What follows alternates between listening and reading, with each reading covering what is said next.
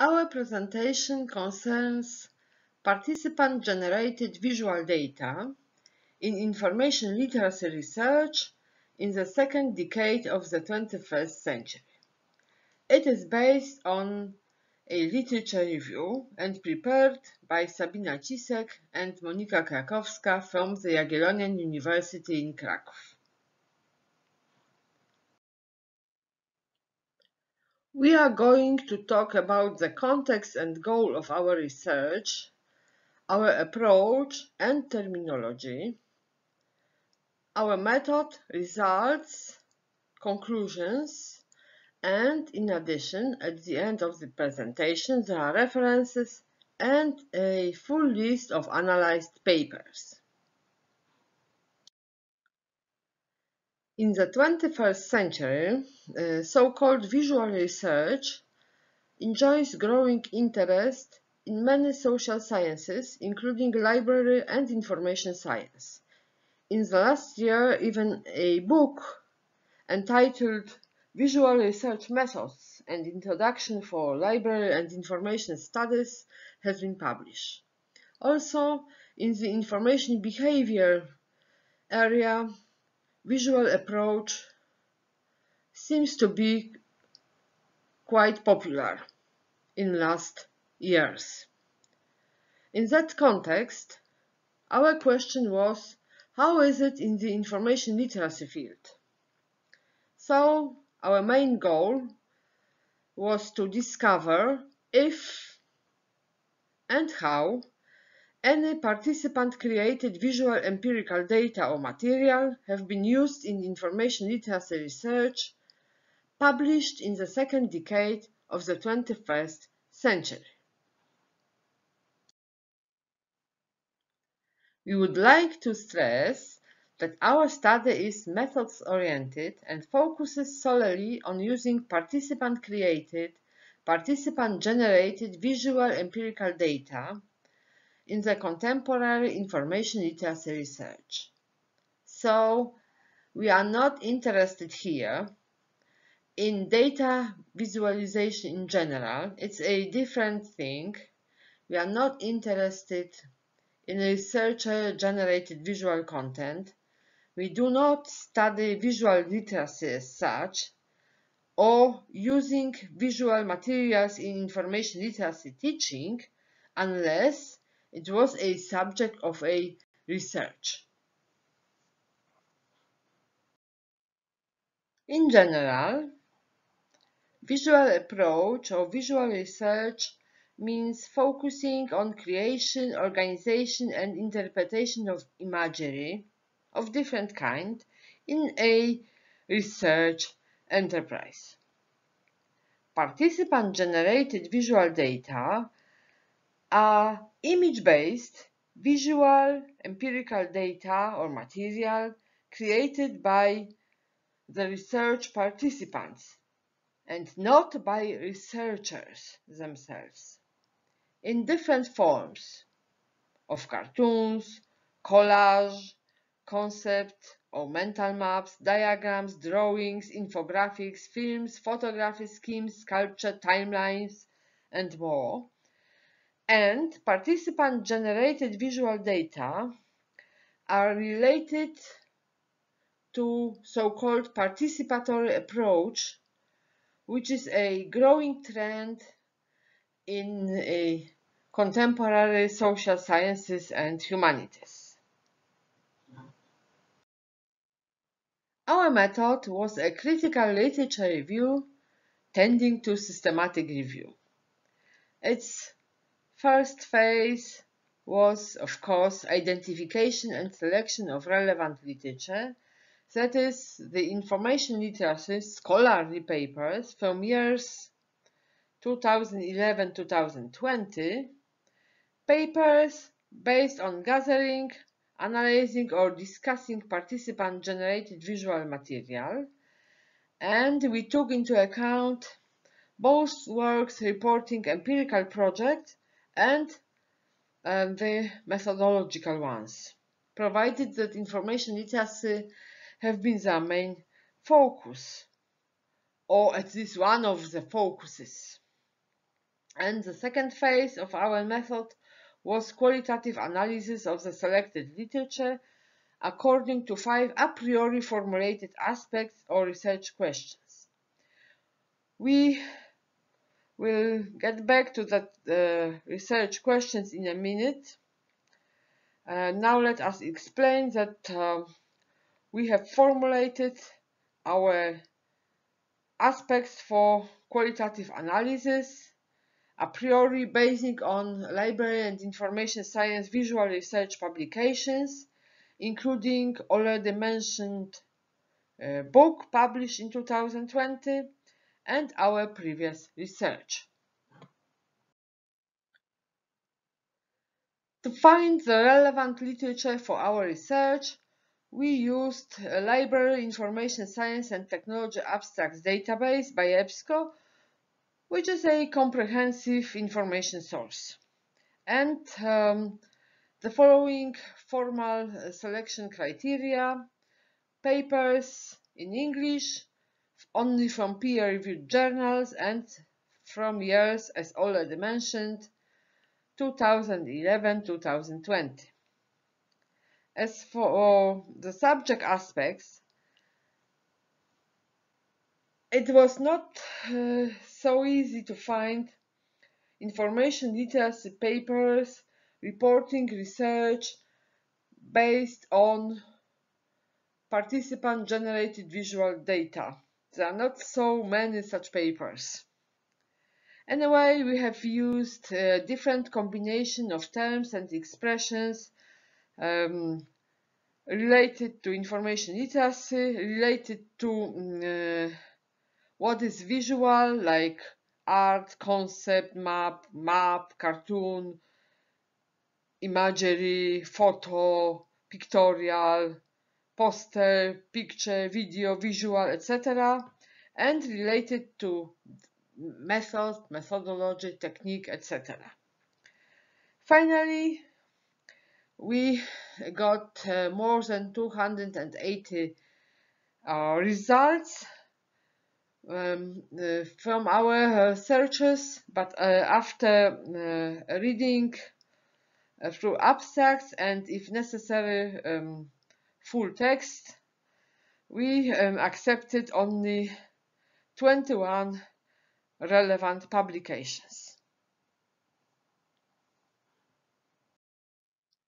The analysis of the selected literature, that is, these 21 papers, was qualitative and based on five aspects or five uh, research questions, as already mentioned. Uh, the first question was um, what kinds of participant-generated visual data were used in the information literacy scholarly papers published in the second decade of the 21st century. We wanted to know uh, whether researchers used um, drawings, photography, collage, sculpture, etc. The second question uh, was by what data gathering procedures, for example, the draw and write technique, photo voice, etc., these participant generated, participant created materials were elicited. In addition, we wanted to know um, if uh, participant created visual data um, appeared in the information literacy investigation on their own solely or in combination with verbal data, uh, for example, from diaries or focus groups or interviews, etc. Then we were interested how the um, visual, how was the visual material analyzed? Qualitatively, quantitatively, by what techniques, by what approaches, for example, thematic analysis or grounded theory approach, etc. And finally, we were interested what specific problems of information literacy were studied based, basing on user-created visual content. Therefore, we would like to present very briefly the most important results of our research. In our first research question, we were interested in what kinds of participant-generated visual data were used in the information literacy papers or research published between 2011 and 2020. As you see, the outcomes of our analysis are arranged alphabetically, but the most commonly used participant-generated visual data concern participant-created photos, then information horizons and drawings. Then the maps were used frequently, I mean concept maps, information sources maps, or the maps of physical space like library.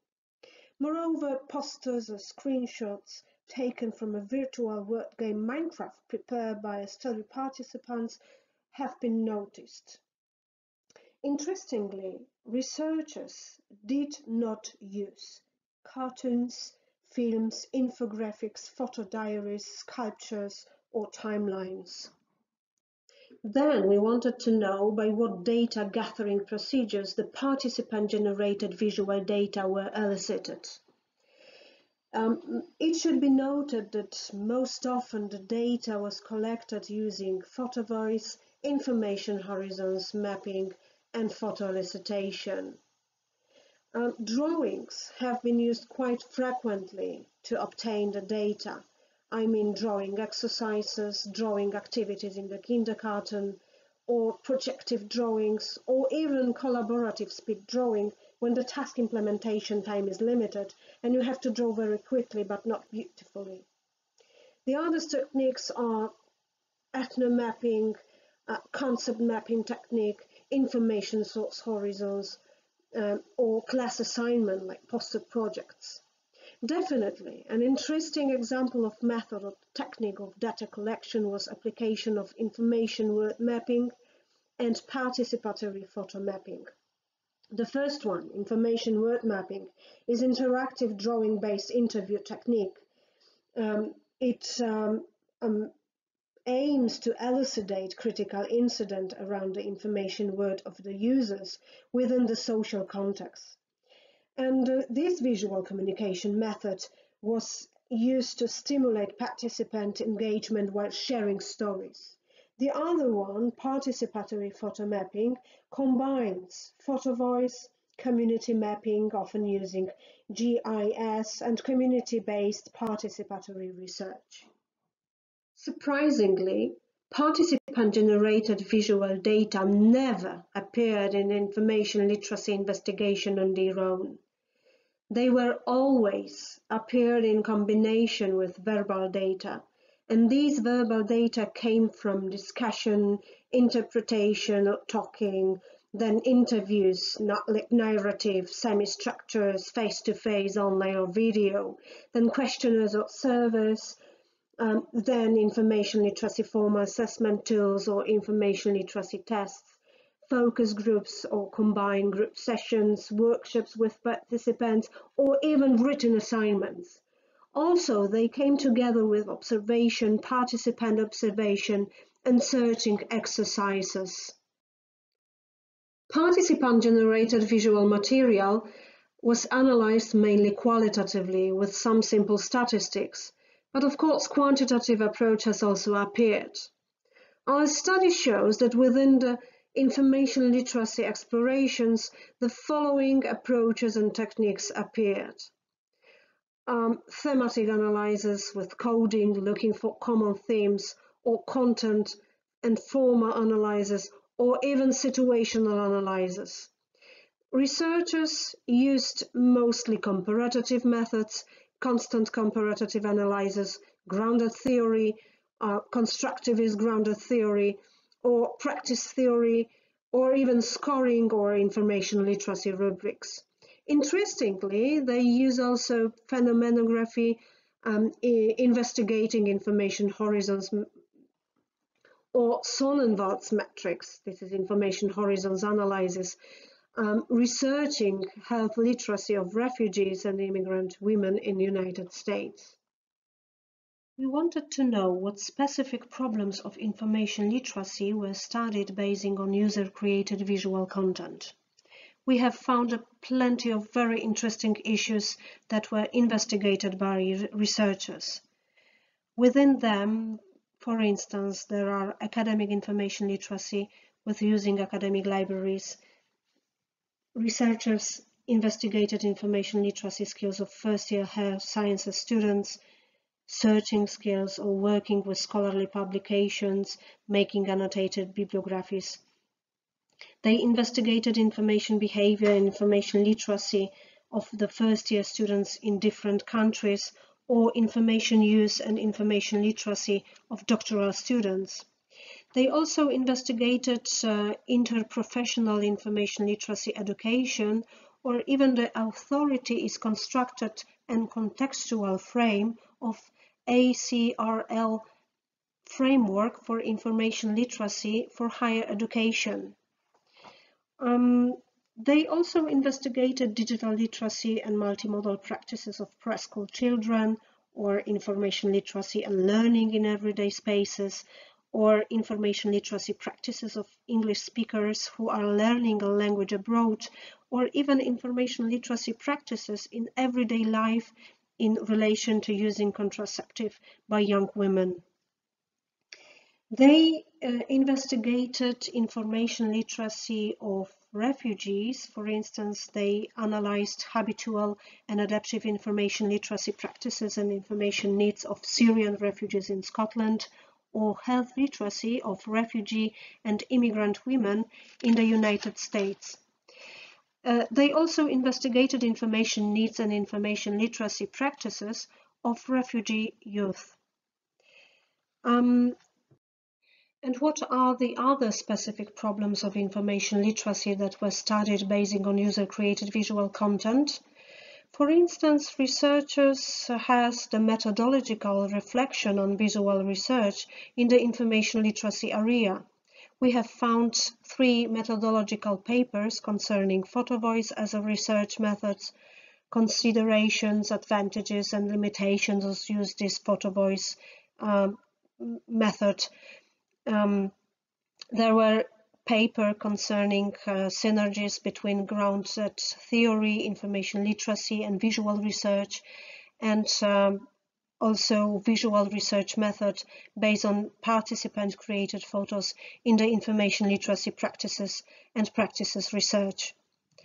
They analyzed relationship between mitigating risk in new situation and information literacy practices or relationship between information horizon mapping and assessment tools measures of health and information literacies. Um, they also um, analyze users' mental images or pictures of various information literacy aspects and concepts. What about the conclusions? We noticed that the potential of participant-generated visual data is not fully realized by the information literacy researchers.